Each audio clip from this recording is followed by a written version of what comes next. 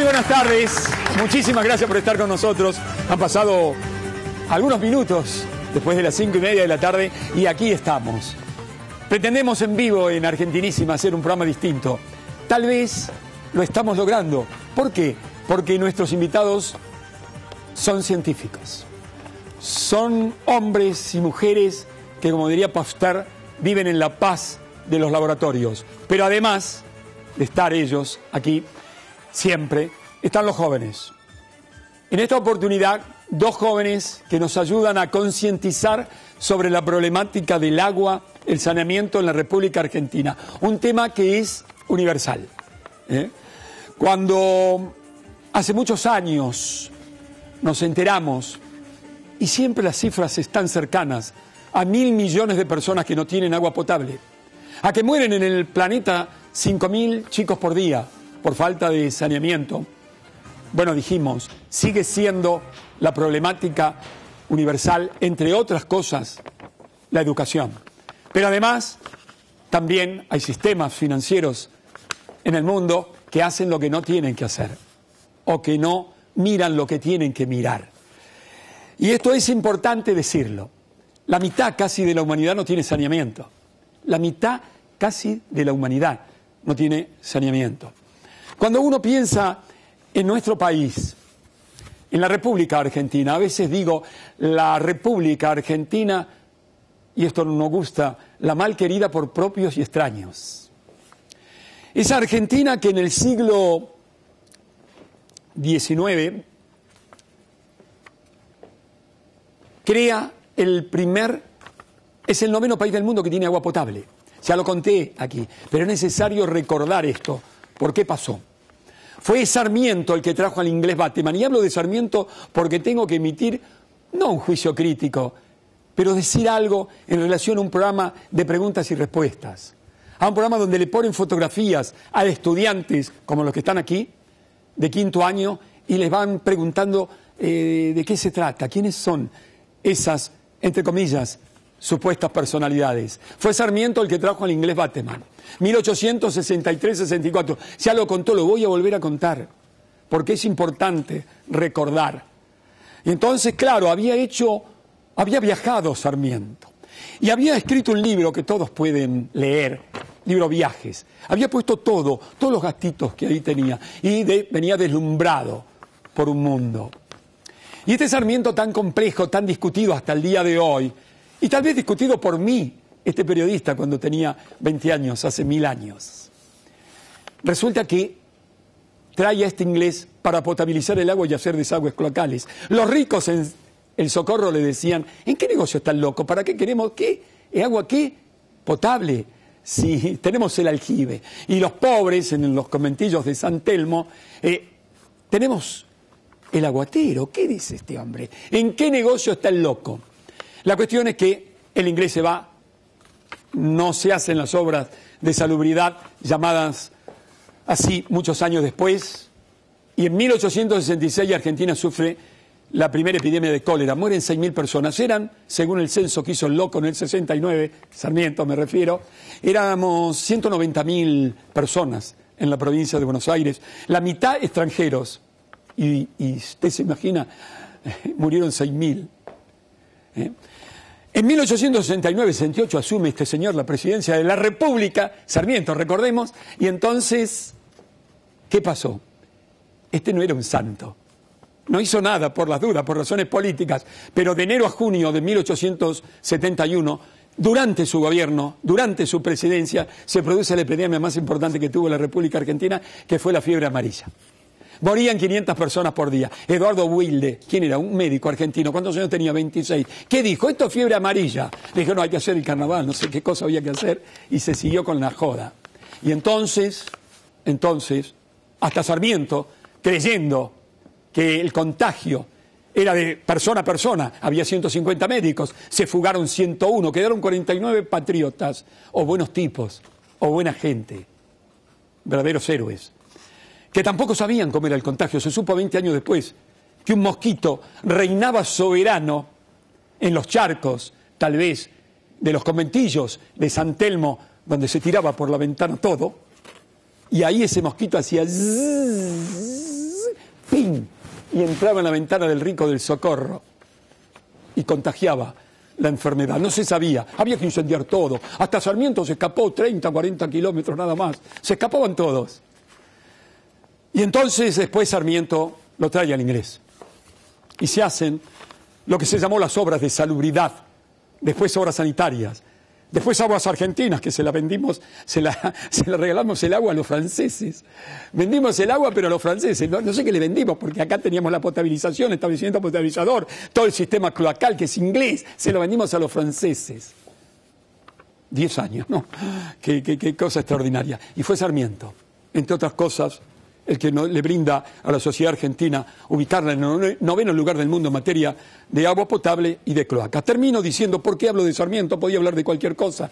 Y porque en un programa de televisión del señor Casca eh, aparecen dos chicos de quinto año. Y como yo hago programas con jóvenes desde hace 30 años, 150 jóvenes, 200, 140, 20, 50, competencia latinoamericana de agua, energía, ambiente y minería, competencia nado contra la corriente. ¿Qué es eso? Encuentro del saber, seis años en Canal 7, educación agropecuaria, construyendo el futuro. Digo, no, esto no, yo soy padre, soy abuelo, soy periodista. Y entonces Casca pone una figura.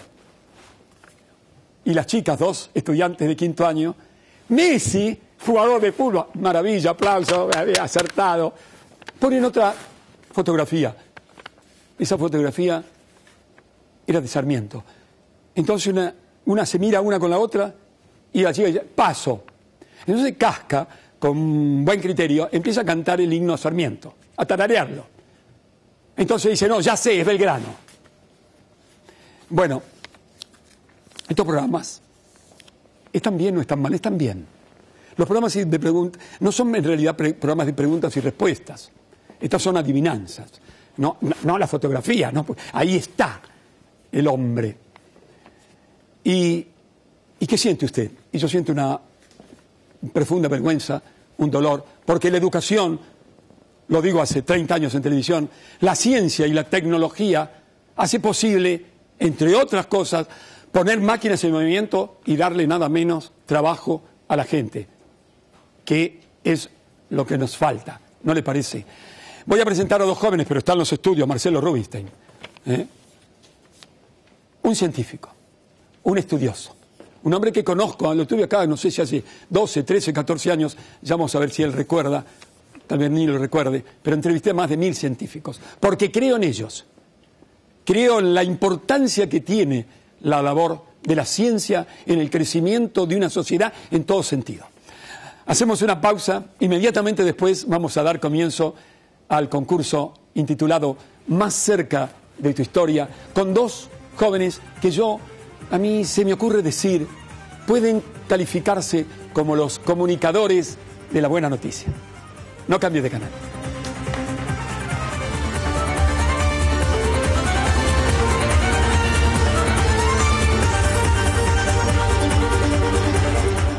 Segundo acueducto del Chaco, presidente Néstor Carlos Kirchner, la obra de transporte de agua más importante de la historia del saneamiento argentino, que llevará agua potable a 350.000 chaqueños.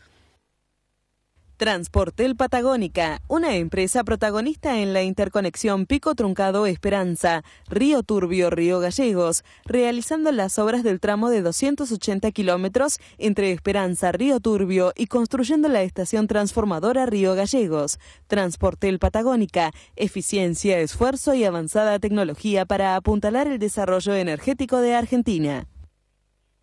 Ecosur Bahía, una empresa constructora argentina especializada en sistemas de agua potable y saneamiento. 45 años de permanente actividad acompañando el crecimiento del país. Ecosur Bahía construyó la planta de tratamiento de líquidos cloacales de Campana. Ecosur Bahía, trabajando para mejorar la calidad de vida de la comunidad. Coto, yo te conozco. Ahora, conocenos vos. Hospital Alemán, el único que usted elegiría sin dudar. Hotel Americano, la mejor opción en la ciudad de Buenos Aires para el hombre de negocios y la familia.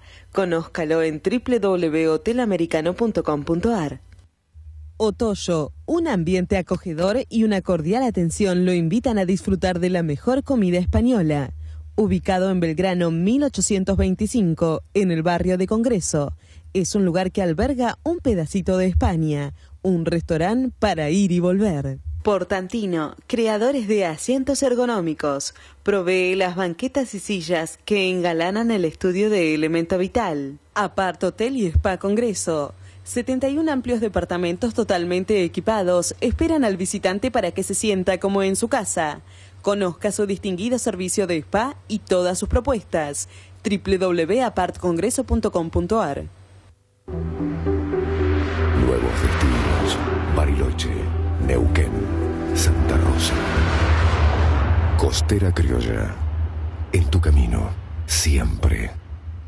El Federal, restaurante y bar argentino. Cocina llena de colores y sabores de nuestra patria. Un restaurante dedicado a la argentinidad, a buscar la soberanía alimentaria en una carta que recorre el país de norte a sur.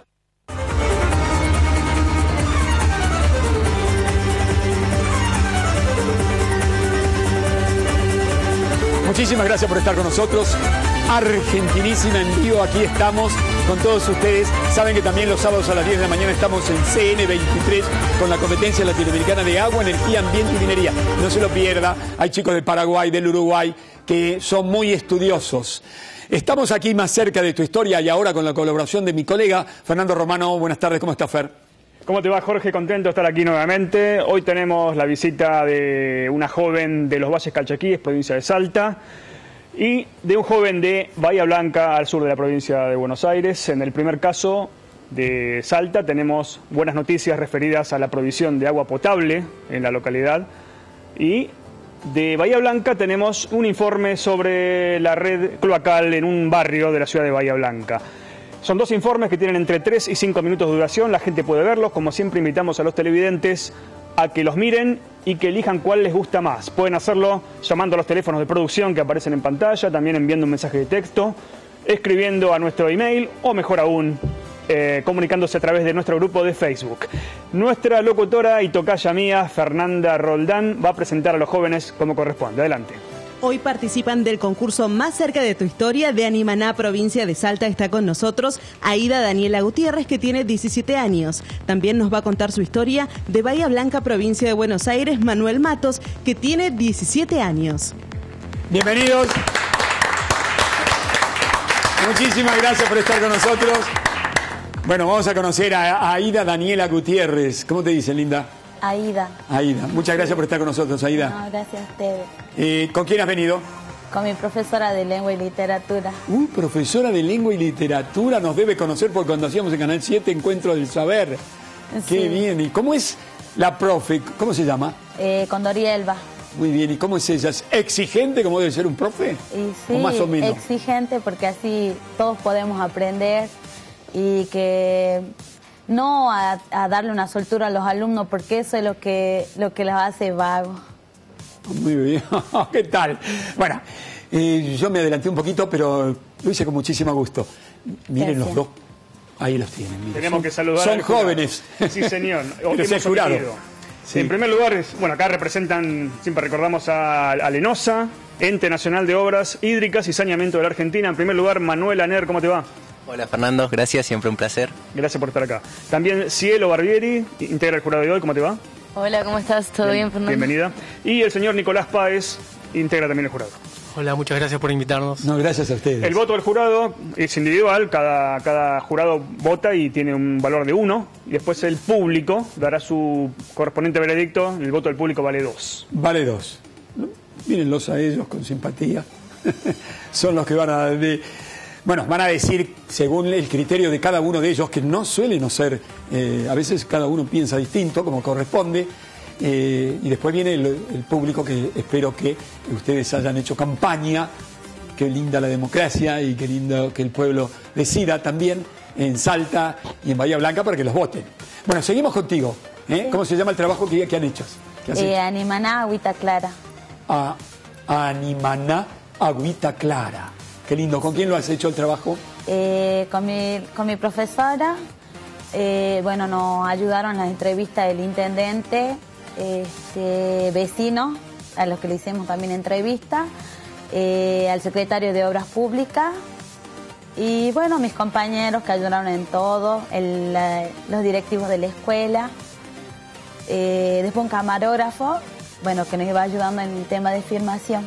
Muy bien. Durante el programa seguramente te voy a preguntar varias cosas, cómo te va en el cole, qué pensás seguir estudiando, eh, cómo está constituida tu familia, si lo querés contar, quiénes, si tenés amigos, todo eso durante el programa. Ahora tengo que agradecer a las personas que hicieron posible que estés acá. Bueno, Agradecemos, para ser agradecido, eh, una gracia, ¿no? Sí. Escuchá que vos. Agradecemos a la senadora María Cristina del Valle Fiore Viñuales, a la señorita Clara, su secretaria, y al señor Ignacio Vicente Condorí, intendente de Animaná. ¿Es la primera vez que venís a Buenos Aires? sí. Ah, por el programa, la primera vez por el programa. Bueno, la verdad que es una gran alegría. Y esta locura de Buenos Aires, es muy- hay mucha locura acá. Ay, sí. Y dan, dan ganas de quedarse acá. Ay, dan ganas de quedarse acá. Ella se queda acá y nosotros nos vamos a Salta la Linda, ¿no? Muy bien. Vamos a ver el trabajo. ¿Lo presentás vos o yo? Yo lo o Fernando. presento. ¿Vos lo presentás? Mira, esta es tu cámara. Eh, hola, como ya lo dije, mi nombre es Aida Gutiérrez y les presento el video que realicé para que conozcan mi pueblo.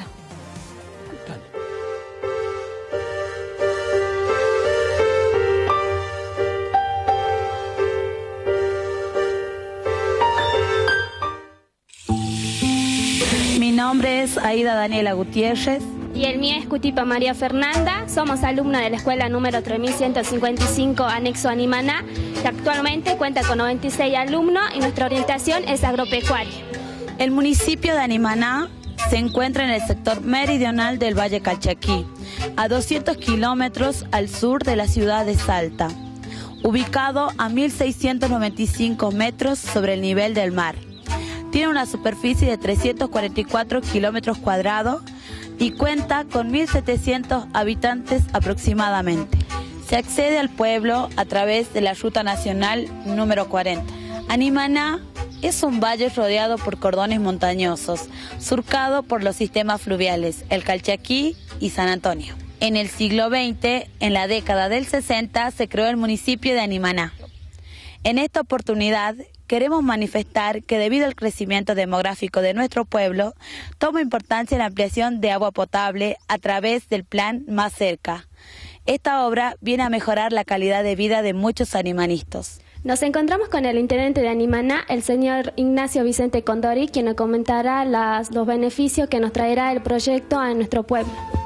forma parte de- del plan de obra más cerca eh, que viene desde la presidencia de la nación y se instaló digamos esa red en lo que nosotros hemos denominado eh, barrio Los Eucaliptos. Como todo planeamiento serio este, va acompañado de un plan de obras. Entonces ahí este, ameritaba la preparación de proyectos que eh, vayan a suplir, digamos, el futuro servicio, que vayan a cumplir como servicio futuro, mejor dicho. Esos son agua y cloacas. Entonces, del- dentro del plan más cerca se, presentó proyectos para este, que quede instalada la red de agua y cloacas, lo que ya es obra terminada hoy en día. Eh, antiguamente el, el agua era canalizada por, por canales y la gente eh, levantaba el, la agua, digamos, de que venían por los canales y ese era su, su, su consumo diario. Eh, bueno, eh, gracias al plan más cerca nos, nos permitió eh, facilitar los fondos necesarios para la, esta nueva urbanización y así brindar al- una mejor calidad de vida a la gente del pueblo. Sí, bueno, el agua se lo levantaba de la acequia, ¿no? En tinajón, en, pipa, bordaleza, esas cosas, para tener el agua en la casa. Y después, hasta que vino la red del agua, hasta que se ha hecho, ¿no? Yo pienso que si ya han estado, ya están hechas las redes del agua, y pienso que en el futuro pueden, pueden llegar para que lo utilicen con agua los barrios. Este, yo, bueno, antes cuando era chica, digamos que teníamos que buscar el agua de un canal todos los días, llevar para las plantas, para todo, para que la gente viva bien. Indispensable el agua para todos. O sea, ya tengo ya como 52 años de que vivo acá. Al agua nos o- o usamos en todo momento. Entonces acá mm, mm, supuestamente tenemos que cuidar nosotros el agua, Damos gracias que tenemos agua, por lo menos. No, no nos cortan a cada rato como en otros lugares. Como podrán ver, la obra de la ampliación de la red de agua potable está concluida, pero falta la conexión domiciliaria. Esto finalizará cuando se construyan las casas del barrio. Por lo que pudimos ver, esto beneficiará a muchas familias de nuestro pueblo, mejorando así su calidad de vida. El agua es un elemento vital, por lo que debemos ser conscientes del uso racional de este recurso. El agua es vida y no habrá vida sin agua. Cuidémosla.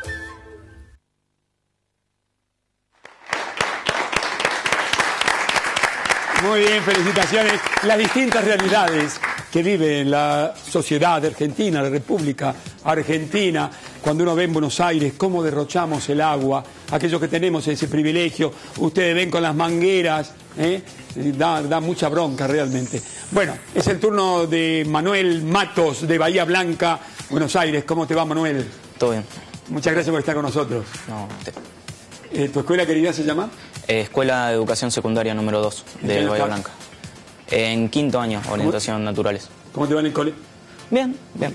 Eh, ¿Como árbitro? eh, bien, eh, ando, dirijo menores e infantiles de la Liga del Sur. sa- Sabía que me había hecho fuera de cámaras. ¿Y cuántos años tenés? 17. Bueno, un árbitro justo, honesto, inteligente, valiente, es lo que hace falta, ¿no? Con las cosas que pasan en el fútbol, si hubiese más tiempo te haría un montón de preguntas. Eh, ¿El trabajo que has hecho, cómo se llama? Aguas negras en una bahía no tan blanca. Aguas negras en una bahía no tan blanca. Muy bien, ¿con quién has hecho el trabajo? Con la profesora de geografía, Silvana Cinti, y el curso. El curso. ¿Con quién has venido? Eh, con la profesora de geografía. Con Silvana. la profesora. ¿Y qué tal es la profe? Bien, Es una persona especial, medio eh, insistente, para hacer los como debe trabajos. ser. Muy bien, tengo que agradecer a la persona, tengo que agradecer. Escucha que vos agradecemos. Agradecemos al Instituto Cultural de Bahía Blanca, encabezado por la señora Marcela Sainz. Marcela, querida de un instituto cultural de Bahía Blanca. ¿Eh? Un beso enorme, querida Marcela. Un instituto cultural que contribuye ¿eh? con este tipo de cosas que tienen que ver con informar, formar y tomar conciencia sobre la importancia del agua, de las cloacas. Bueno, el trabajo lo has hecho con ella. Sí, sí. ¿Eh? ¿Lo querés presentar vos? Bueno. Esa es tu cámara. Esta vez son artistas, mira vos. Los invito a ver el trabajo que hemos hecho sobre la extensión de cloacas al barrio Osmata.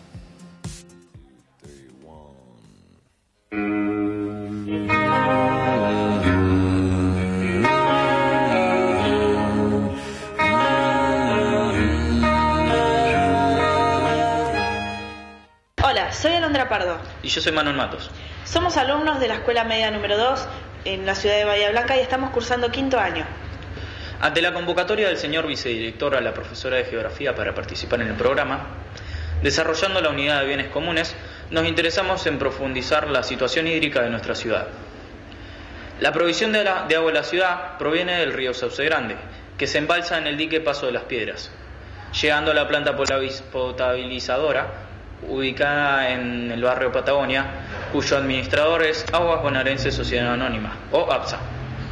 Luego se distribuye en nuestra ciudad, 400.000 habitantes, y en Punta Alta, 600.000 habitantes. Partimos de que la provisión de agua y saneamiento son un derecho humano básico. Y para entender el problema de abastecimiento que tenemos en época estival, analizamos los consumos de la ciudad en comparación con otras partes del mundo. En Francia hay un consumo de 180 litros por habitante al día, en Estados Unidos un consumo de 200 litros por día, Bahía Blanca de 690 y en Punta Alta de 570. También cómo se elaboran los principios rectores de política hídrica en la República Argentina para que el sector hídrico tenga una política de Estado. Paralelamente, el debate de medidas a tomar para renovar cañerías y reducir el consumo del vital elemento que sea sustentable. Llegamos al tema que nos convoca, la importancia de las obras de saneamiento. Buscamos qué significa saneamiento en el diccionario de la Real Academia Española. Conjunto de técnicas, servicios, dispositivos y piezas destinadas a favorecer las condiciones higiénicas en edificios, comunidades, etc. Concretamente se plasma en obras de extensión de la red de desagües locales, y para obtener información fehaciente fuimos a la municipalidad, donde fuimos muy bien atendidos por una ingeniera del área de obras públicas.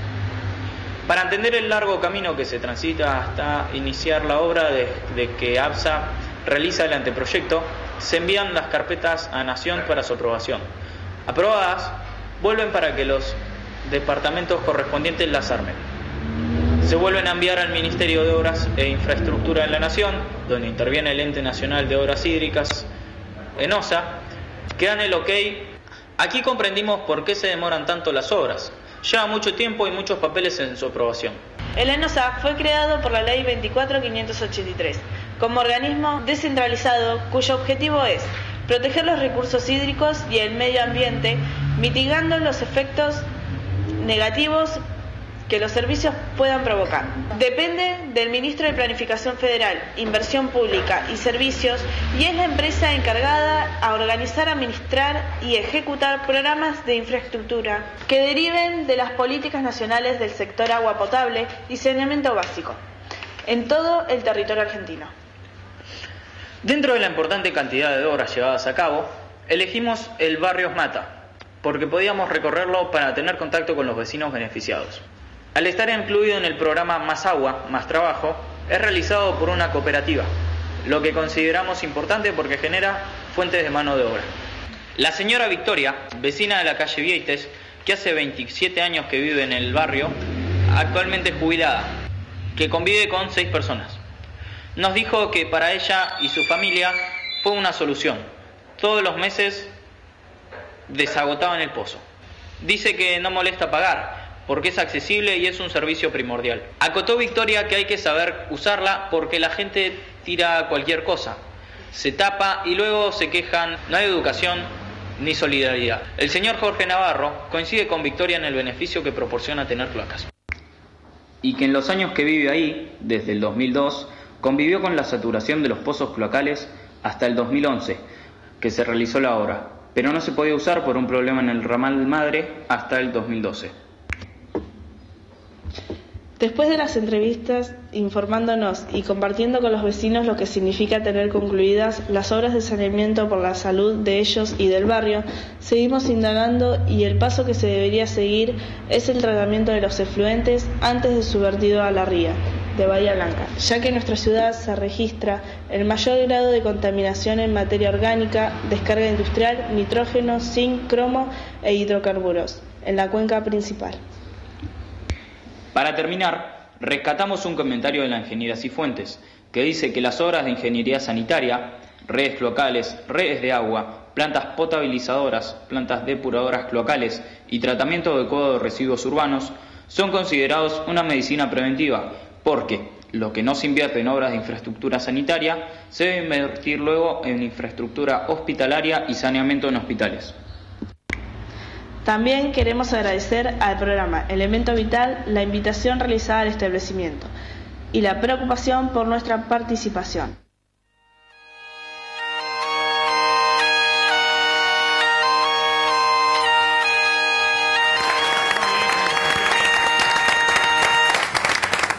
Nos vamos a estudios centrales, ahí están nuestros compañeros con las informaciones de último momento en Argentinísima para toda la República Argentina.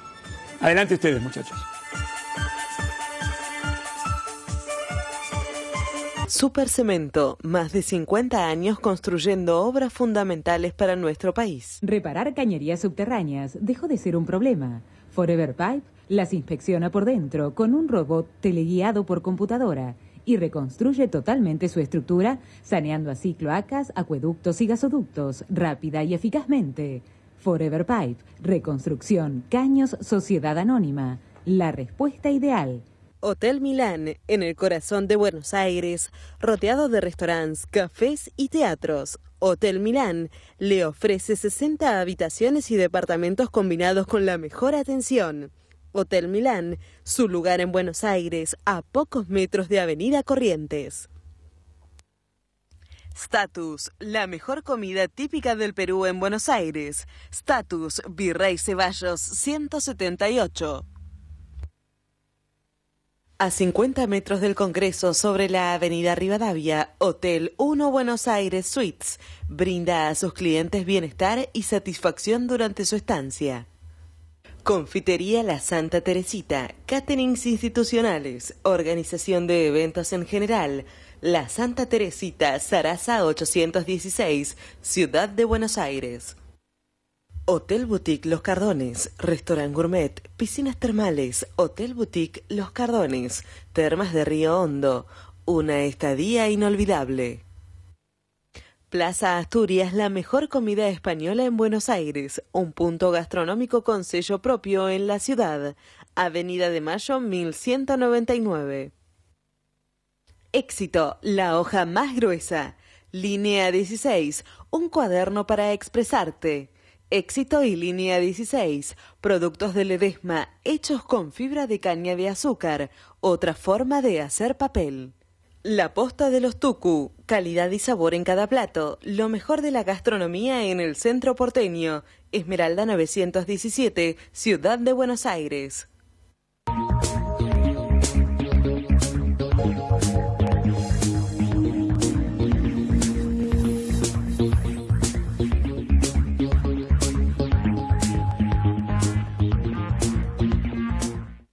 Productos Bimar, alfajores, conitos, galletitas, budines, pan dulce, alta calidad, excelentes precios, sabores exquisitos. Productos Bimar. 1893 Pizza y Pasta. 20 años ofreciendo las mejores pizzas a la parrilla, servicios a domicilio, catering, Avenida Raúl Escalabrini Ortiz 701, Villa Crespo, Ciudad de Buenos Aires. Los esperamos ansiosos. Central de Café, proveedor de café gourmet, café de alta gama, natural y tostado fresco, recetas y variedades cuidadosamente seleccionadas y tostadas que permiten mantener su gusto regional. Central de Café, encontranos en la web. Apart Hotel y Spa Congreso. 71 amplios departamentos totalmente equipados esperan al visitante para que se sienta como en su casa. Conozca su distinguido servicio de spa y todas sus propuestas www.apartcongreso.com.ar.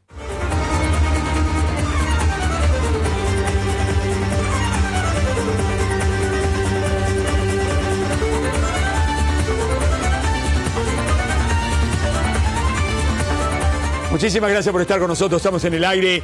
En toda nuestra carrera profesional, además de tener, por supuesto, estudiantes, porque siempre hemos creído que la educación y la ciencia y la tecnología hacen crecer a los pueblos y hemos mostrado desde Construyendo el Futuro documentales de todo el mundo, siempre tenemos una personalidad en materia de ciencias, eh, teniendo en cuenta aquello de, ese misterio al que mm, nos llevó de alguna manera un pastor eh, un hombre que siempre hay que tenerlo presente, por cuanto a mí se me ocurrió leer todos sus manuscritos. Yo le digo a los jóvenes, eh, eh, la, historia está bien, lean historia, pero cuando van unos siglos para atrás, ustedes pueden hacer su propia historia.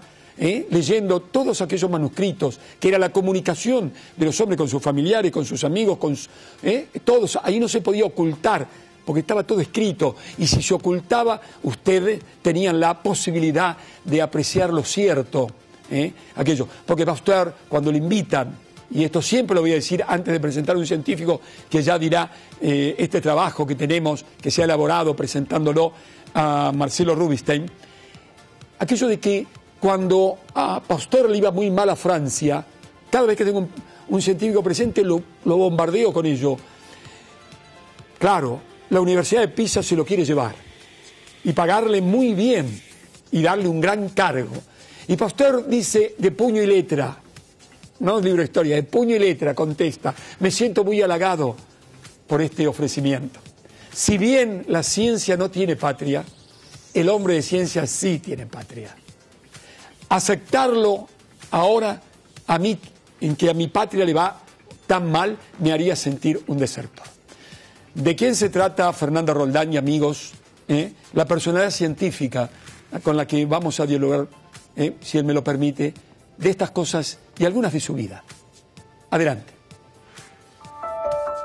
Desde muy temprana edad, Marcelo Rubinstein se interesó por la química del cerebro Impulsado por su pasión, en 1979 comenzó a estudiar química biológica en la Facultad de Ciencias Exactas de la Universidad de Buenos Aires. Más adelante se doctoró en farmacología de receptores de dopamina en el cerebro de ratas y ratones y ya en los Estados Unidos realizó un postdoctorado a través del cual se especializó en la modificación genética de ratones para el estudio de genes humanos en el cerebro. Actualmente es profesor adjunto en la Facultad de Ciencias Exactas y Naturales de la UBA e investigador superior del CONICET en el Instituto de Investigaciones en Ingeniería Genética y Biología Molecular, INGEBI. En esa entidad dirige desde hace 20 años un grupo de investigación cuya finalidad es el análisis del funcionamiento de los genes y circuitos cerebrales que regulan el apetito y la motivación desde una perspectiva genética, evolutiva y conductual basada en el estudio de ratones transgénicos y mutantes que ellos mismos producen. A la fecha, el Dr. Rubinstein ha publicado más de 100 trabajos científicos originales en revistas internacionales de alto prestigio. Ha dirigido tesis doctorales de la Universidad de Buenos Aires, ha recibido subsidios internacionales y ha sido distinguido con diversos premios. Entre ellos se destaca el recientemente otorgado por la Academia Mundial de Ciencias en el campo de la biología por sus contribuciones en la comprensión de genes del cerebro involucrados en conductas apetitivas, adicción y obesidad usando tecnología de ratones transgénicos. Extensa trayectoria y reconocimiento internacional. Hoy nos visita en Jorge Romano Presenta el doctor Marcelo Rubinstein.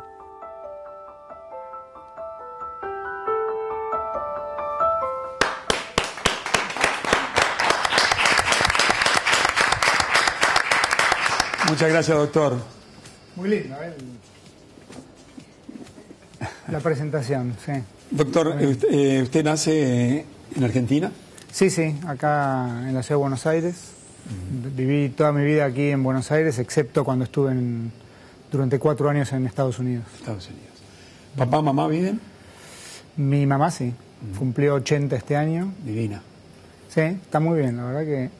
¿Cómo se llama mamá? Se llama Luisa y es física. Ella este, estudió física en la UBA, una de las primeras camadas de, de científicas mujeres de la Universidad de Buenos Aires, cuando estaba todavía la facultad en la, en la Manzana de las Luces. ¿no? Y le voy a preguntar algo que le preguntan los... Y usted dirá, este hombre me invitó para eso. Algo que le pregunto a los jóvenes, ya que habló de su madre. ¿Y qué ha sido o es su madre para usted? Eh, qué difícil, qué difícil en pocas palabras. Una madre es este, tantas cosas eh, y más a lo largo de tantos años. ¿no? Eh, es, es el núcleo de la familia es donde yo me crié, donde, donde aprendí todas las primeras cosas.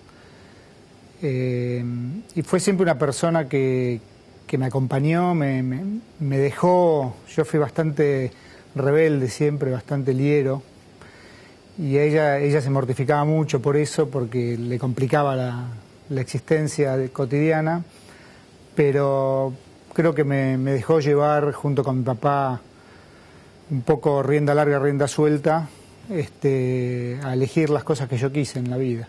¿Tiene hermanos usted? Tengo un hermano menor que es médico. Médico. Sí. ¿Y papá se llamaba? Abraham. Abraham. ¿Eran argentinos o venían? Sí, sí, eh, hijos de inmigrantes europeos, pero argentinos ellos. ¿Y lo vio? eh, ¿Papá lo vio usted científico? Sí, sí, sí, mi papá murió just- justo hace 10 años. Hace 10 años. Sí, justo. ¿Vio a los dos hijos en- encaminados Sí, sí, en las sí, ciencias? ¿Y dónde hace la escuela primaria, doctor?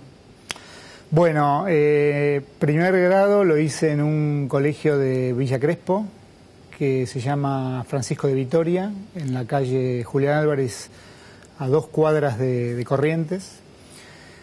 Eh, en realidad me tocó esa escuela porque mis padres querían que fuera un- a un doble de escolaridad más cercano de mi casa, nosotros vivíamos en Belgrano, pero no se consiguió. Y bueno, me pasaba a buscar tempranito una, una camioneta y yo tenía cinco años, totalmente dormido. Este, pero ya en segundo eh, conseguimos, eh, consiguieron mis padres una vacante en la Escuela República de Cuba, que le tengo mucho afecto a esa escuela de doble escolaridad, que estuve en segundo, tercero y cuarto grado en la calle Costa Rica y Tames. Y ahí aprendí algo que hoy es muy difícil para los chicos en Buenos Aires hoy, que es a viajar solo en colectivo a los ocho años. Yo me tomaba un colectivo, pagaba, me acuerdo, 13 pesos moneda nacional, pagaba el boleto eh, y viajaba desde más cerca de Barrancas de Belgrano hasta con el 55 hasta Tames y Costa Rica. ¿Tenía miedo? No, para nada. No, no, viajaban otros chicos. Otros tiempos. Viajaban las maestras.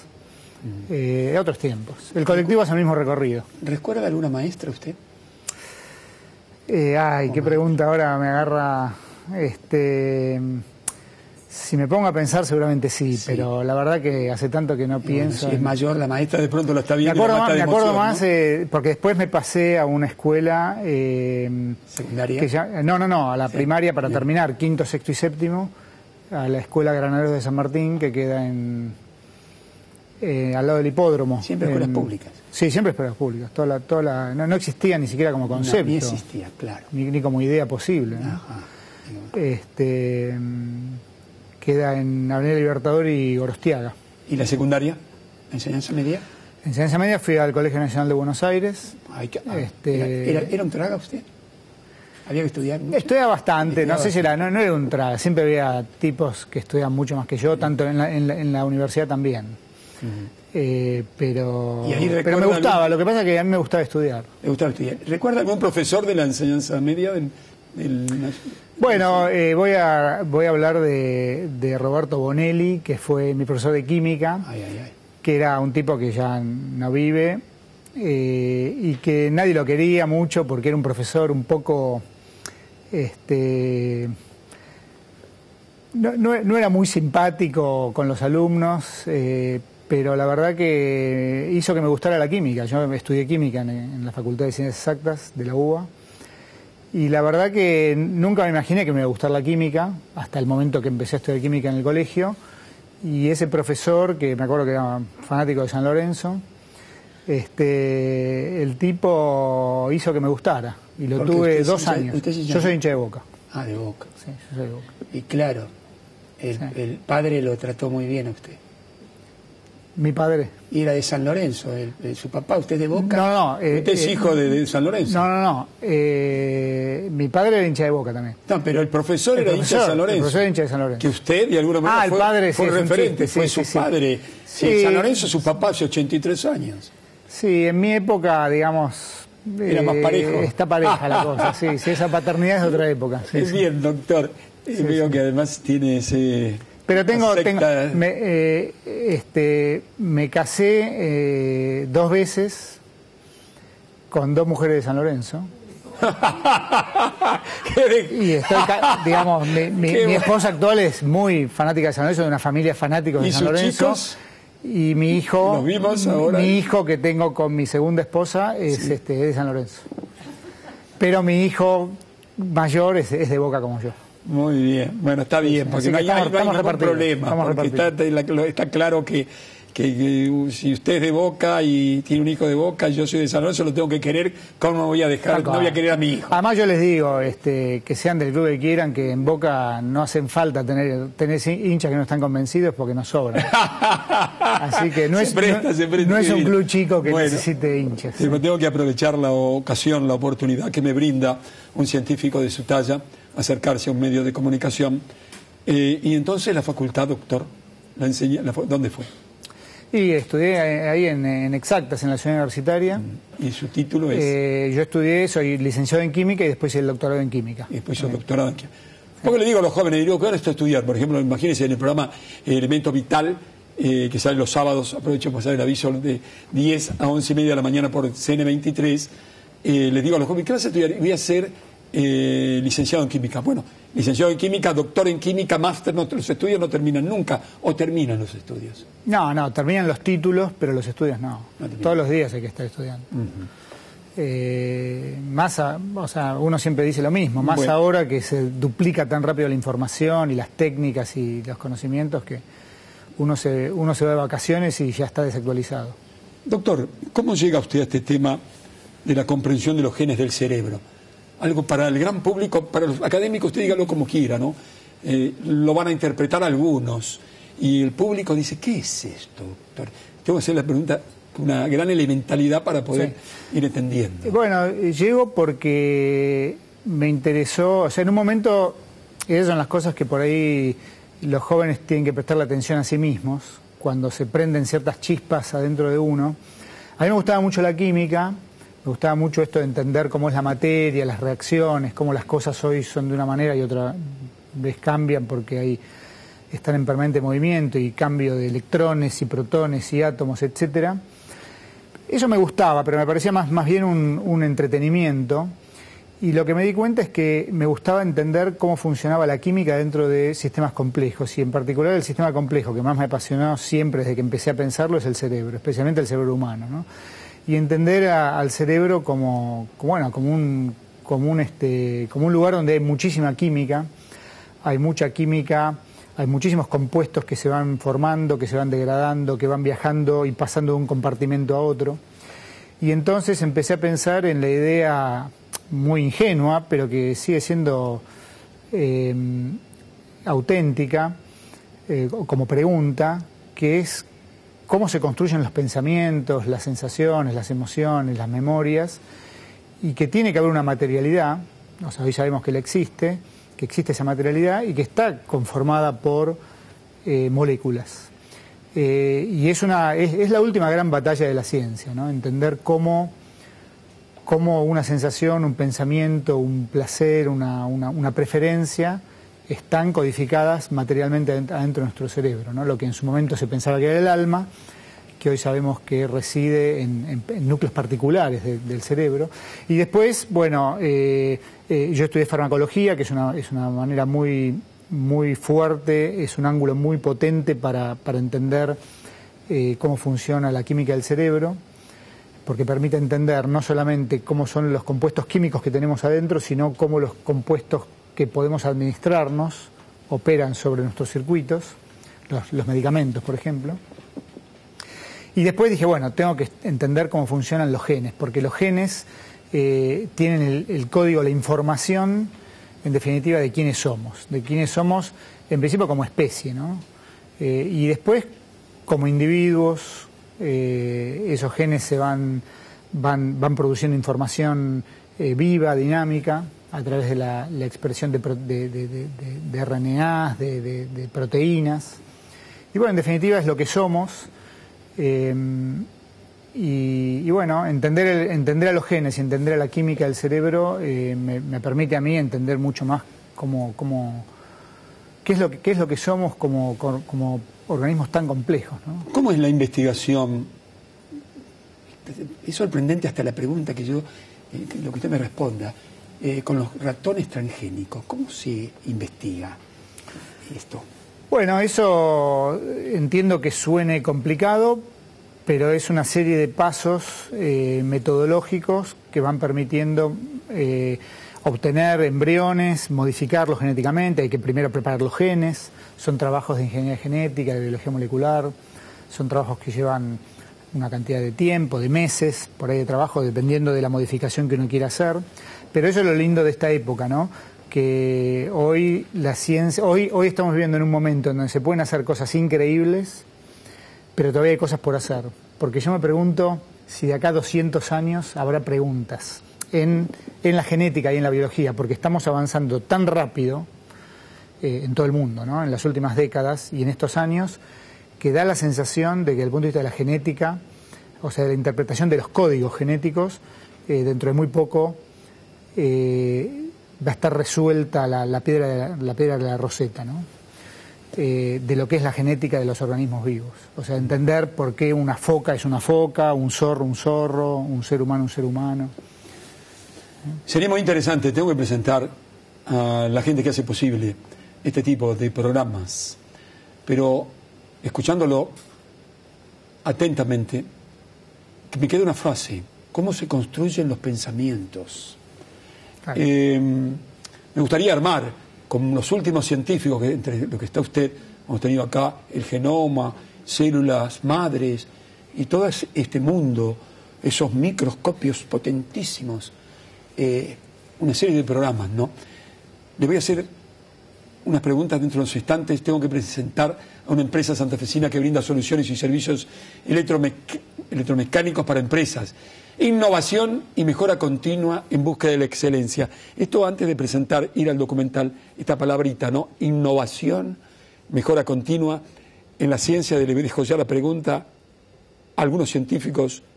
Ricardo Carosella, miembro de la Academia Nacional de Ciencia de Francia, que ha estado acá, inmunólogo, me ha dicho que hoy hay una ciencia creativa. Quiero su pensamiento después del corte. La ciencia hoy crea Vendemos. Croceto Ingeniería es una compañía ubicada en el Parque Industrial Reconquista en la provincia de Santa Fe. Como firma comenzó sus actividades en 1975.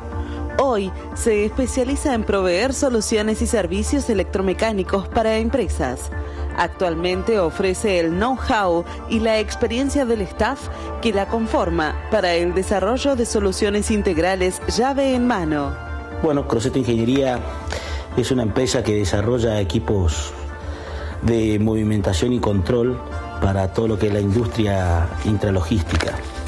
Básicamente lo que hacemos es eh, desarrollamos la mecatrónica de, de, esta, de esta clase de equipos y eh, además de desarrollarla también la implementamos y la construimos y la ponemos en marcha. Lo que hacemos acá es el desarrollo, el diseño, desarrollo, construcción, montaje y puesta en marcha de equipos eh, que se llaman transelevadores que sirven para automatizar almacenes de gran porte. Se trata de una organización orientada a generar y desarrollar proyectos con criterios de excelencia técnica, con un fuerte sentido de pertenencia organizacional y una cultura orientada al bienestar individual y social. Nosotros actualmente estamos empleando eh, aproximadamente entre 20 a 25 personas, dependiendo eh, la actividad.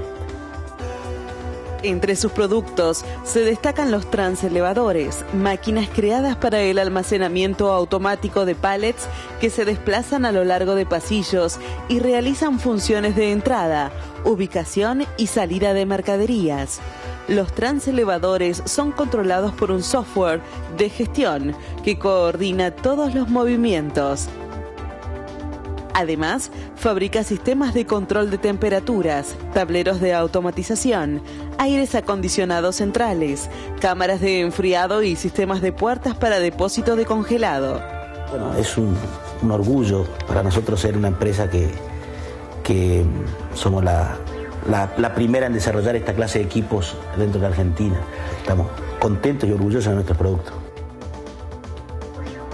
La empresa ofrece un servicio basado en la necesidad del cliente, anteproyectos, pliegos, análisis de ofertas, ingenierías de detalle, supervisión e inspección de obras.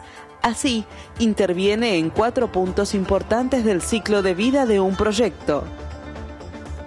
Su conocimiento aplicado y experiencia en esas áreas y en los procesos involucrados le permiten brindar soluciones globales, manejar desde los más simples hasta los más complejos proyectos frigoríficos y ser el interlocutor multidisciplinario elegido por cada cliente. Estamos trabajando mucho en Uruguay, estamos trabajando mucho en Paraguay. Por supuesto, Argentina tenemos eh, varios clientes. Desde su génesis, su misión empresarial implica brindar soluciones tecnológicas para la industria, integrando equipos y profesionales focalizados en lograr el objetivo planteado. Demostrar eh, al empresariado argentino la clase de soluciones que hoy en día la tienen aquí en Argentina al alcance de la mano. Sumado a eso, trabaja junto a sus clientes para mejorar su eficiencia y competitividad una empresa que crece, innova y persigue la excelencia. Una compañía que brinda soluciones al alcance de todos.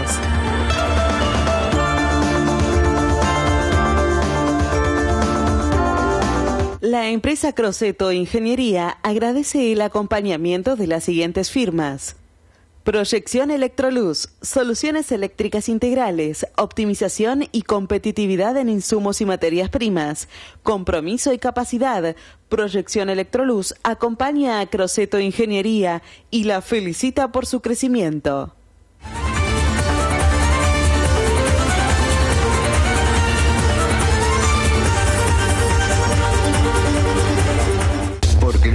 A hombres y mujeres que forjaron y lucharon desde hace décadas por una cuenca carbonífera pujante, porque estaremos transformando nuestro carbón en energía cumpliendo con el anhelo de pioneros a través del impulso de nuestras autoridades nacionales, porque seremos parte del interconectado nacional introduciendo el valor agregado que ofrece nuestro mineral. Somos Yacimientos Carboníferos Río Turbio, energía para Santa Cruz y el país. Abastelec, una empresa de argentinos especializada por más de 30 años en equipamiento eléctrico antideflagrante para áreas clasificadas, abasteciendo la más completa línea con sus productos ABX, Brush, SEAG, Kraus Hints, Site, Mate, Capri, Victor Products, presente en los más importantes proyectos de minería, petróleo y gas, conformando un grupo líder mundial en su rubro. Desde 1920, Sirigliano de Junín, Ingeniería en Ventilación.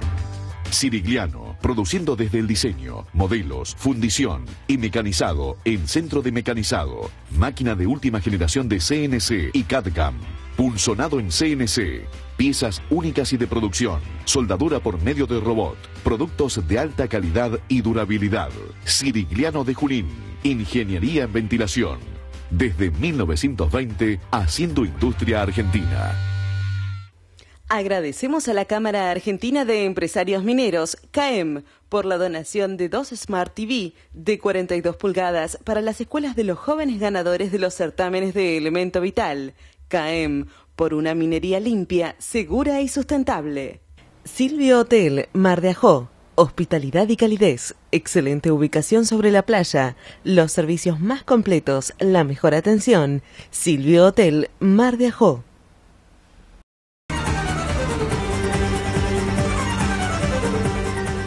Seguimos dialogando con el doctor Marcelo Rubinstein. ¿eh? Tenemos el inmenso placer de conocer un científico tan importante. En el comentario que nos hacía el doctor hace unos instantes, hacía referencia a aquello de que los pensamientos se construyen, vamos hacia búsqueda, a esa investigación. Y yo le había preguntado, antes de mandar un documental, sobre algunas opiniones científicas que consideran que antes se investigaba solamente y que hoy hay que además hacer un aporte creativo a la ciencia. ¿Esto es posible? ¿Esto es así? Desde, ¿Cuál es su punto de vista, un estudioso como usted, cómo ve esto? No, los descubrimientos... Antes se descubría, hoy No, yo creo que siempre se, siempre se está descubriendo y dependiendo del estado de, virginidad de un territorio a descubrir, eh, hay que ser más o menos creativo. Y las, eh, hay que ser creativo para sortear las dificultades que tiene eh, un campo de estudio. ¿No? En ese sentido, uno lo puede pensar, eh, yo siempre trato de pensarlo, de ponerlo como metáfora, eh, cuando, entre comillas, se descubrió América. Vinieron los, los, este, los españoles y se encontraron con un continente nuevo para ellos y empezaron a describirlo. Eh, a hacer los descubrimientos. y al principio todo era nuevo y todo era novedoso y todo era documentado documentable. Y luego empieza uno a tener que ser más sofisticado y empezar a encontrar los secretos a cada territorio y las virtudes, las posibilidades, etcétera, y es donde uno se vuelve más creativo. Eh, a, su vez, la, mm, la, tecnología aplicada al desarrollo de la investigación científica, en particular en mi campo, que es la genética, la biología molecular, eh, ha adquirido niveles de sofisticación tan grandes, como por ejemplo esto que hablamos hace un rato, la posibilidad de hacer animales genéticamente modificados, eh, en donde uno realmente puede hacer infinitos animales diferentes. Eh, también genera la, posibilidad de ser muy, muy creativo eh, y además la exigencia de ser creativo, porque por un lado uno tiene como una visión un poco bucólica de que la ciencia es un investigador que tiene recursos ilimitados y tiempo ilimitado, y no es así. O sea, los recursos son siempre limitados, hay mucha competencia. Como, como dijiste antes,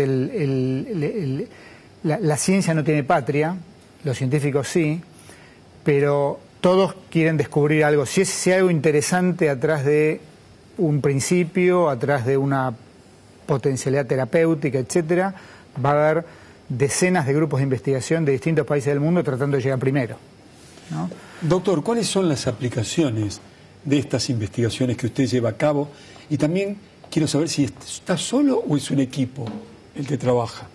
No, la ciencia es... Eh, Ya sé que es una cadena de eslabones. No, no, pero además es una, es una actividad, especialmente la ciencia experimental, totalmente social. Eh, se trabaja en grupo eh, y se trabaja aplicando los principios más fundamentales que permitieron que el hombre, que la civilización humana hoy sea lo que es y que nos diferenciemos tanto del resto de los animales. Yo hace unos minutos hablaba de la, de la competencia entre científicos. Pero los científicos hacemos lo que se hace en muchísimas otras ramas. Competimos y tenemos actitudes altruistas permanentemente. Estamos en una dialéctica constante entre ayudarnos y tratarnos de ganar unos a los otros. Es como en un torneo de fútbol, antes hablábamos de fútbol. Eh, uno quiere que gane su equipo, pero si no existen los otros equipos no hay torneos, no se puede jugar. O sea, tienen que existir los otros y tenemos que ganar todos en largo plazo, porque si no, no hay, no hay una competencia. Y si no existe Boca, yo no tengo hijo. Exacto, exacto, tal cual. Entonces, eh, eh, en la ciencia ocurre eso todo el tiempo. Nosotros tenemos eh, colegas que son competidores, pero a la vez son personas que son referentes, los podemos llamar por teléfono para preguntarles y para pedirles un favor. Ellos saben que nosotros estamos trabajando en un tema competitivo, pero nos manejamos en criterios de, caballerosidad. Esto también implica a las mujeres que hoy son tan o más numerosamente más importantes que, los varones en la ciencia argentina en particular, pero se sigue hablando de criterios de caballerosidad, en donde eh, se pueden mantener los secretos hasta cierto, hasta cierto punto. me imagino que en el mundo del periodismo puede llegar a, pasar cosas parecidas, con, alguna primicia, con una nota. Todo se publica. Claro, entonces eh, todos quieren, todos dicen quiero, quiero resolver esto para curar este problema, para conocer esto, pero en definitiva no deja de haber, y esto hay que reconocerlo, un deseo egoísta de quiero ser yo el que lo logre. Porque si es otro, también le sirve a la humanidad, pero uno lo puede llegar a sentir como una derrota. O sea, esto es algo eh, que los científicos tenemos que luchar todo el tiempo. O sea, con fines el altruismo y el egoísmo permanentemente, una dialéctica constante, porque cualquier científico si dice esto me interesa, está bien que lo descubra el otro y que lo publique el otro, es muy probable que esté mintiendo. Uno quiere ser uno el que clave este, el estandarte en el Polo Sur, mm, como fue la lucha este, entre Scott y Amundsen, mm. que uno quería llegar antes que el otro y uno quería llegar antes que el otro, y nadie va a decir que llegue él y él, le va a contar a todo el mundo cómo es el Polo Sur. Y con la y Jonas Sal hizo un descubrimiento y después Sabine, eh, que fue su continuador, dijo que lo que hacía Jonas Sal era, era eh, química de ciencia de cocina, química de cocina. Bueno, claro, entonces este, eh, hay muchísimas historias y todos tenemos nuestras historias de competitividad. Eh, el tema es manejarnos con, valores y, además pensar que es una disciplina y cada vez más, ¿no? Porque la verdad que la vida, la vida del hombre en esta tierra está superando los 100 años. y entonces uno puede hacer ciencia no como Pasteur, que tenía pocas décadas o Newton para resolver una pregunta, sino que tenemos una enorme cantidad de décadas. Entonces, esto hay que verlo como estos torneos eh, de fútbol en donde este año salgo campeón yo, el año que viene sabes vos, y así, en definitiva, todos tenemos en el los pósters en la pared con las copas ganadas y otras que hemos perdido, pero este, que también estuvieron bien disputadas. Una pregunta para la gente ya que no entiende nada de nada. ¿Cómo yo? ¿Para qué sirve esto que está haciendo usted? Uh, eh, sirve para muchas cosas y puede servir para muchas más que ni yo mismo me di cuenta que podrían servir. Eso lo, lindo de la ciencia es eso, que uno construye el conocimiento, produce descubrimientos y no necesariamente tiene en ese momento o incluso a lo largo de su vida eh, la conciencia de para qué puede servir, para, quién puede sacarle utilidad a ese descubrimiento, a ese conocimiento. Está, la ciencia está plagada de ejemplos de descubrimientos fundamentales, pero que fueron aplicados por otro. Por eso este, eh, se discute mucho eh, en la Argentina y en otros países si hay que hacer ciencia básica, si hay que hacer ciencia aplicada, y en realidad la ciencia aplicada es ciencia básica que se convierte en aplicable, y no necesariamente el mismo investigador el mismo grupo lo logra. El tema es cómo un país se apropia de esa aplicabilidad para que no se, no, se la apropien otros, ¿no? Porque por ahí uno hace un descubrimiento a lo largo de una inversión fuerte, eh, por ejemplo, un descubrimiento en la Argentina, pero si esa aplicabilidad la, utilizan los franceses o los norteamericanos, bueno, hemos perdido una batalla importante. ¿no? Pero acá hay algo que son...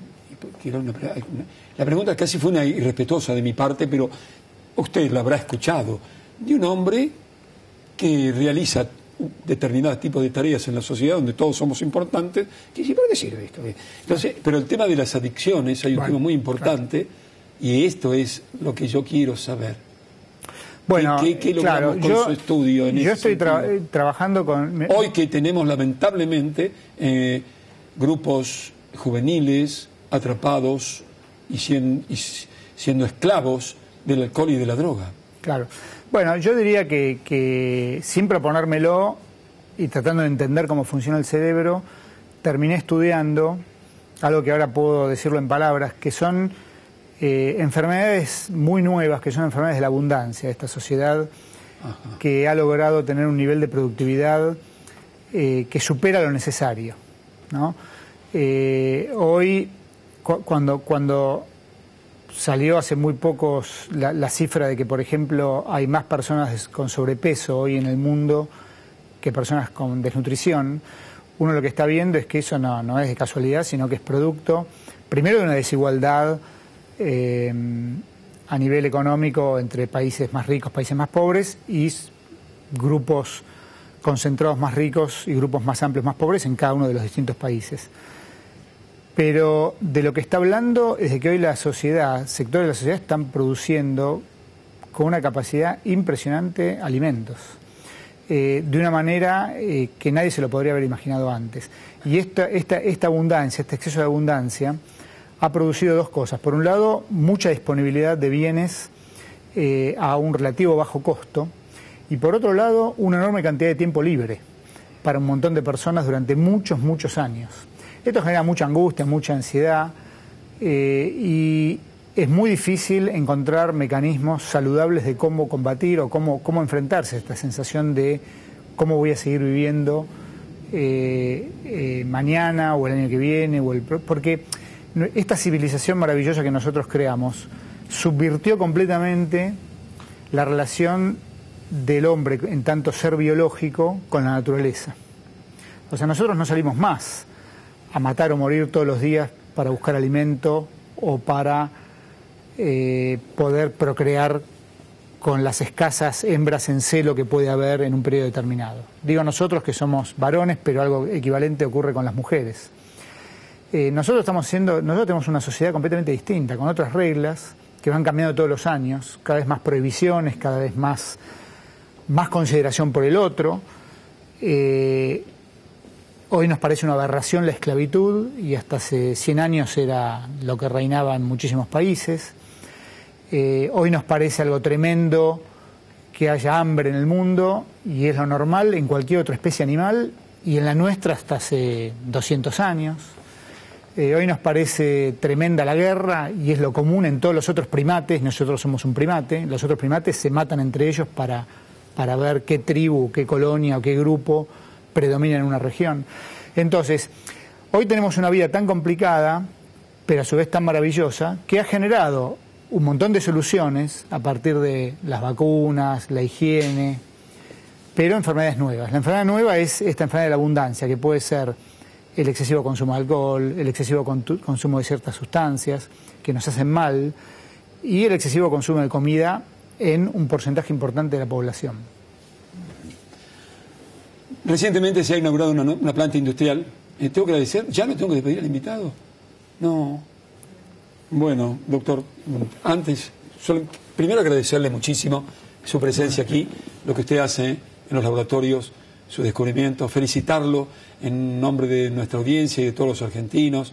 Permítaseme, aunque nuestra audiencia sea pequeña, eh, no se va a poder librar fácilmente de mí, este, este reportaje se va a repetir muchas veces. pero yo estuve tal tiempo en determinados días, eh, me hubiese gustado preguntarle si sus hijos siguen sus, su, su, profesión. todavía no sabemos. No se sabe porque son chicos todavía. ¿No? ¿Y a usted, le gustaría? me, gustaría preguntarle cuántas horas trabaja por día, cuántas horas dedica al laboratorio. Y es muy difícil de calcular, porque ahora con internet en la computadora, que uno está trabajando todo el tiempo, este, no sé, 10. Trabaja en todos lados, están trabajando en su casa, en el baño, en, todos lados, en todas partes.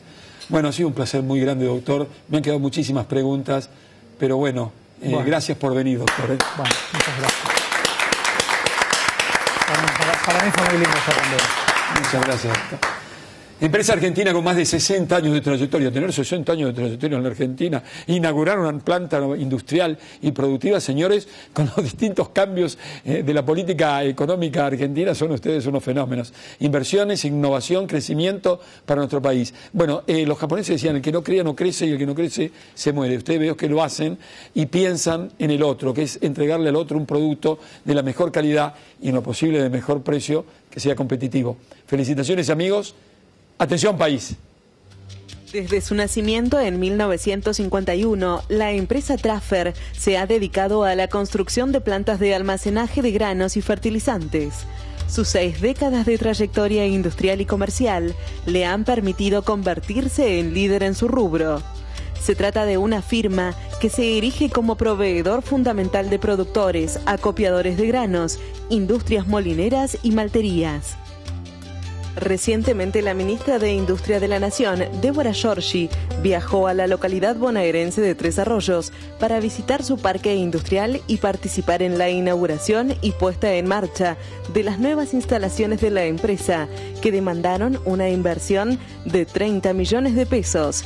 La ministra estuvo acompañada por el intendente local, Carlos Sánchez, y Horacio Fernández, titular de la compañía.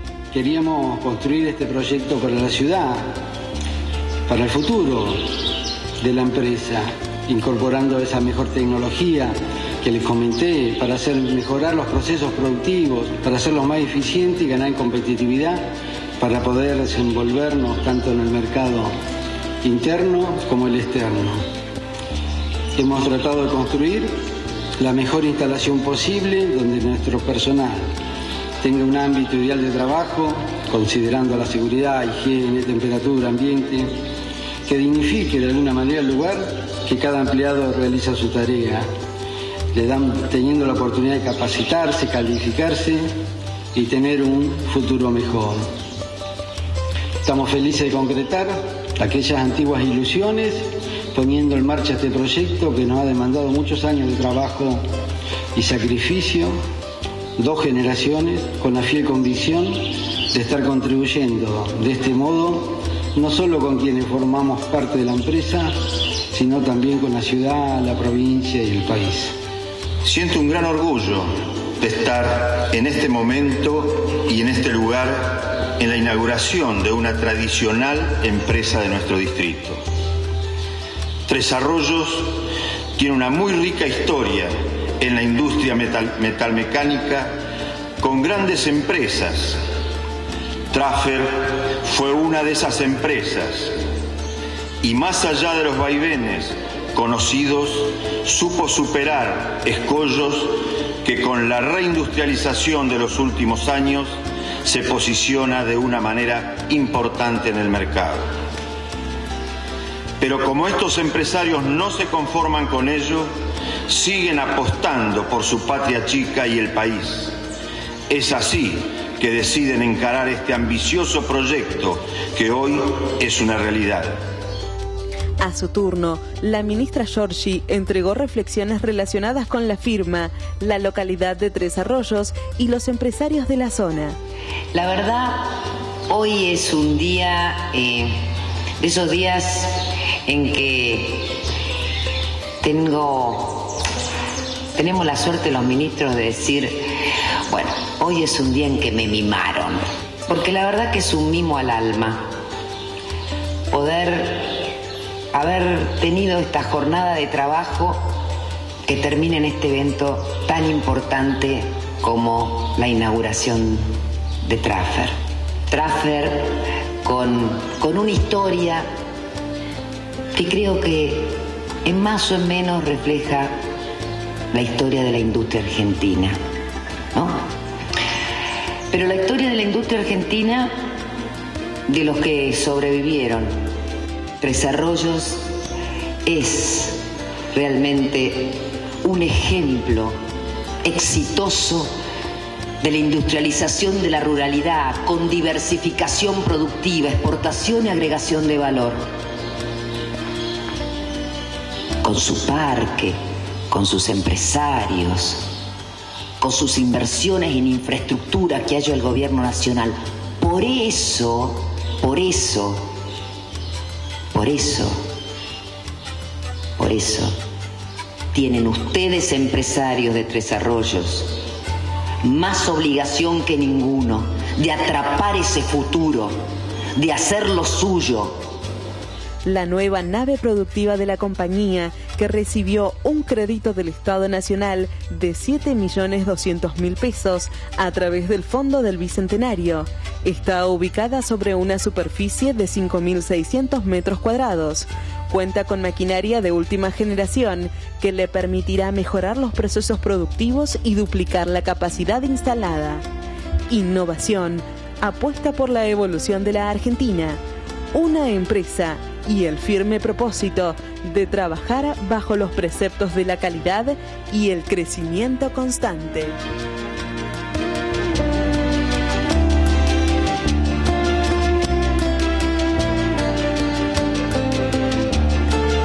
Traffer, empresa dedicada a la construcción de plantas de almacenaje de granos y fertilizantes.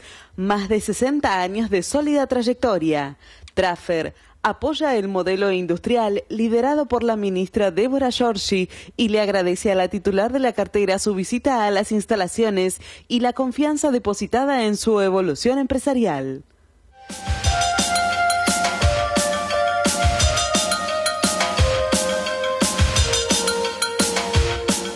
OTEC, soluciones integrales para el transporte y almacenamiento de aguas. El lavado de manos sigue siendo la medida preventiva más eficaz para evitar el contagio de enfermedades. Adoptemos este acto simple y sencillo a nuestra vida. Es un consejo de AISA. Santillana, libros educativos de calidad para docentes y alumnos de nivel inicial, primario y secundario. www.santillana.com.ar La Magistral, fábrica de pastas artesanales. La Magistral, Avenida La Plata 434. Pedidos al 4958-2009. El Ministerio de Trabajo, Empleo y Seguridad Social, la FENTOS y las empresas de servicios de todo el país continúan el convenio de capacitación y la certificación de competencia laboral a los trabajadores de los sectores vinculados al agua, las cloacas y las plantas potabilizadoras y depuradoras, otorgándoles los certificados avalados por el mismo Ministerio en las normas aprobadas a nivel nacional. Ediciones SICUS, libros para una cultura de la integración. La buena lectura ilumina. Ediciones SICUS. Bar La Academia, la mejor atención, sabores únicos. Desde 1930, visitanos en Callao 368, Ciudad de Buenos Aires. Abierto a las 24 horas. Terramar Ediciones, pensamiento argentino del siglo XIX, letras argentinas del siglo XX, clásicos, Terramar Ediciones. La paella es el plato que mejor representa a los españoles. Potente, loca, anarquista, surrealista, divertida y precisa de siesta. ¿Dónde? En la Robla, hombre. Es de Quitapena y Regalá, Piamonte y Montevideo. ¡Vente! Disfruta de las propuestas que ofrece San Bernardo y relájate con todos los servicios y el confort que te ofrece Hotel Bel Sur. Llama ahora y aprovecha las promociones. Hotel Bel Sur, de los mejores, el más grande.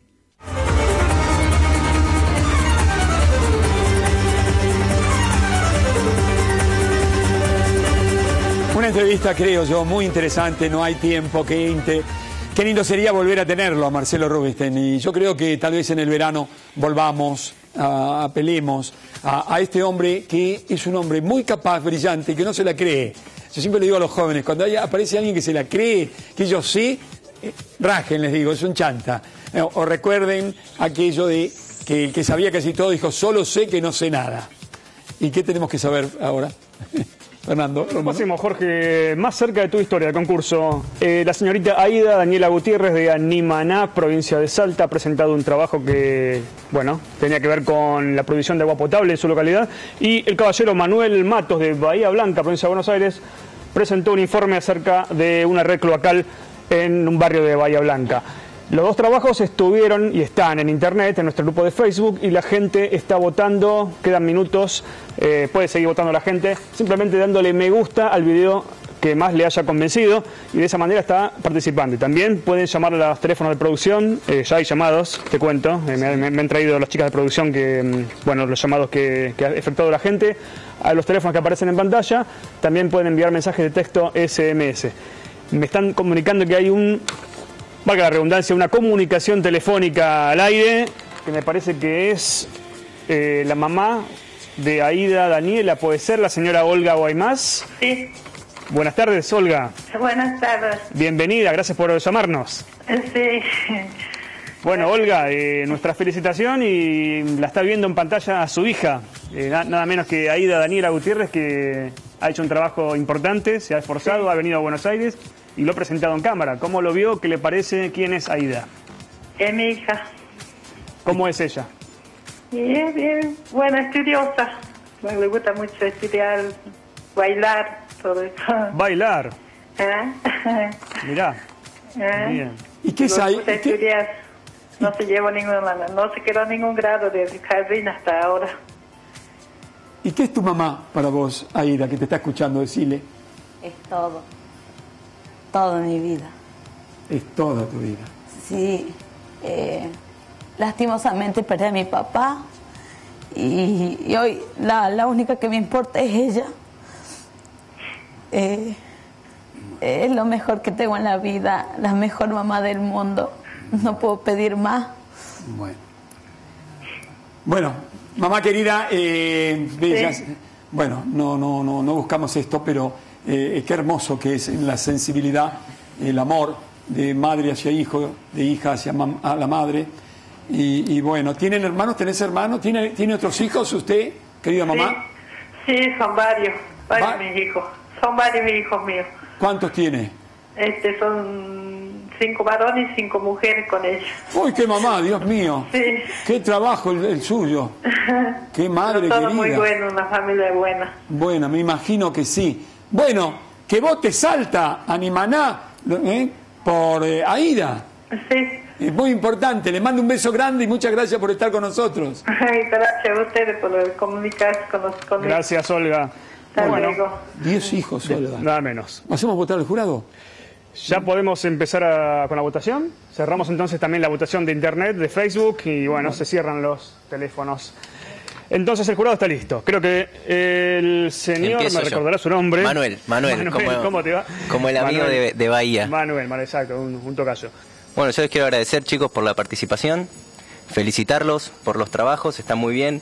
Hemos visto ya muchísimos trabajos este, en este certamen y la verdad es que siempre se van este, superando.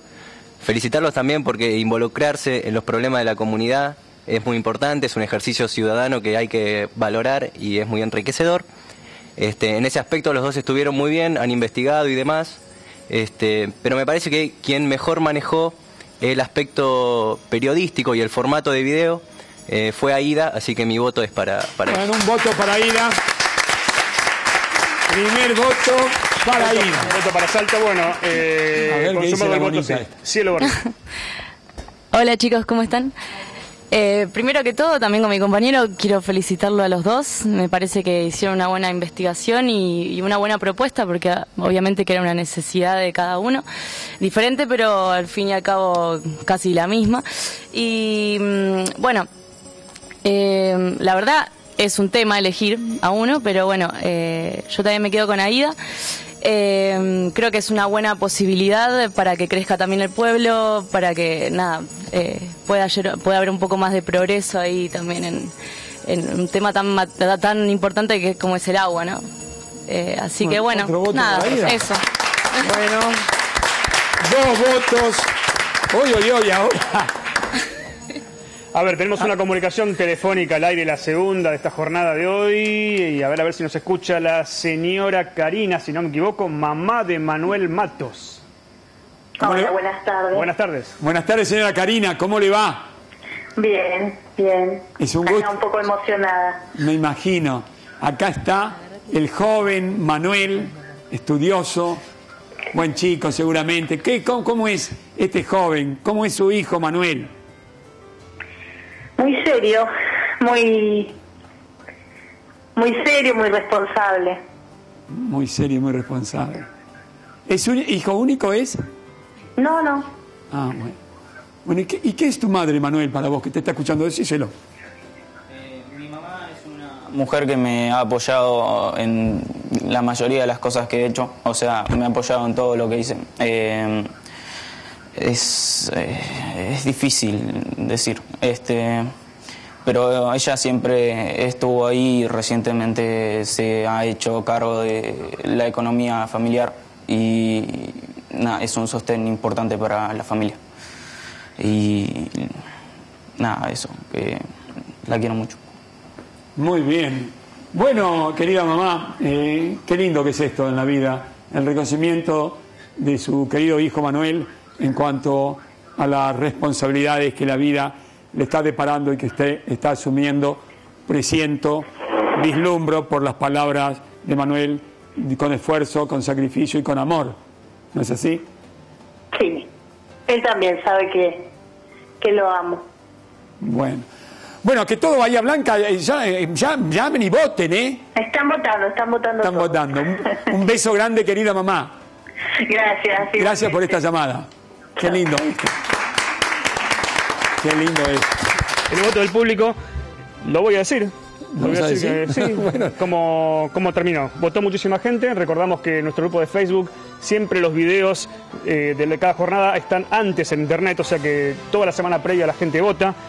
Y por una diferencia de nada más que de 19 votos, entre los muchísimos votos que hubo, solamente 19 votos de diferencia a favor, según el público, a favor de Manuel Matos de Bahía Blanca. Pero ahora sí, el voto pendiente del jurado de Nicolás Páez. Escuchamos. Bueno, buenas tardes, gracias por invitarnos. Eh, chicos, felicitaciones a los dos. Eh, documentaron bien las obras, se expresaron muy bien. Eh, en el caso de Manuel les tienen una muy buena explicación, tanto de, las obras, de, Lenosa. me impactó las imágenes y, lo, que hicieron hablar a, muchos representantes de la comunidad de ahí de Salta. Así que primero felicitarlos a los dos.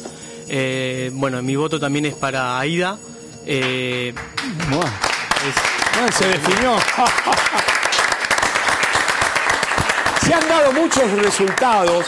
Me parece que este es el primero, de que el, jurado dice tres y el público dos. Me parece que es el primero sí, Me ¿eh? parece que votos unánimes, creo que a lo sumo debe ser el segundo. El segundo. bueno, sorprendente. De la misma manera que hubo hasta empates. Manuel, no has perdido para nada, al contrario, eh, tu presencia en cámaras. Por otra parte, te has ganado un lugar en el repechaje. El público te ha votado, la gente te quiere, valora tu trabajo, por esto ha sido así y me alegra muchísimo este diálogo que se mantuvo con tu madre, estupendo, maravilloso, ejemplar, eh, emocionante, y que ayuda. Eh, bueno, todo eso nos pone muy felices. Así que tu saludo para la gente que vos quiera saludar y agradecer y vamos a esperar el repechaje a ver qué pasa. En ese día te vamos a llamar por teléfono y vamos a seguir charlando contigo. Tus palabras finales.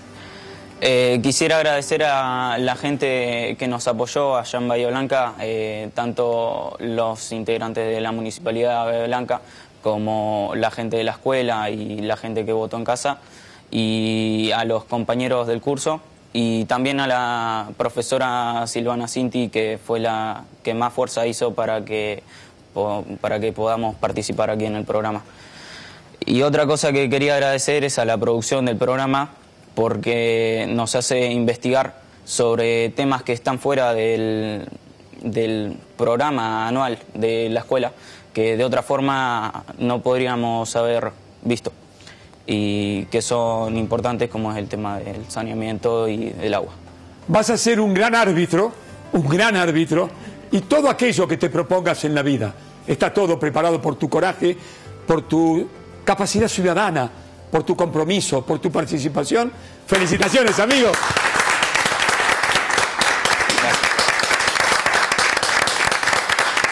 Bueno, Aida, nos has hecho llorar a todos, a toda Salta hiciste llorar. Y a, a Nimaná y hasta, y hasta tu compañero y acá y amigo en el camino de la lucha por la vida. Tus palabras eh, finales, tus agradecimientos, lo que quieras decir. Sí, eh, bueno, yo quiero agradecer a- al directivo de la escuela, en especial al vicedirector de nuestra escuela, del anexo Animaná, eh, a la senadora Fiore, este, al intendente de Animaná y a todos los que colaboraron, a mis compañeros, en especial a la profesora Elba, que si no fuera por ella, yo creo que, que no estaríamos acá, al canal, que tuvo en cuenta a nuestro pueblo y que está bueno de que jóvenes de nuestra edad salgan eh, por la tele, hagan proyectos para poder superarse. Porque en Animana este, no todos son este, de decir, decidido de decir yo voy a salir, voy a hacer esto, voy a hacer lo otro. Yo creo que es un buen principio para empezar a que los jóvenes seamos mejores y poder superarnos. ¿Cuántos años tenés? 17. Dice, divina, ¿eh? Esto va a quedar. ¡Felicitaciones! A mejorar el trabajo para la semifinal, ¿eh? A mejorar. A los dos, queridos jovencitos, muchas gracias. Y se fue el tiempo. Se fue el tiempo. Fernando, muchas gracias. Nos reencontramos, Jorge, gracias. La semana que Jurado, muchas gracias, queridos jovencitos. Y hasta la semana que viene, si Dios quiere. ¡Chao!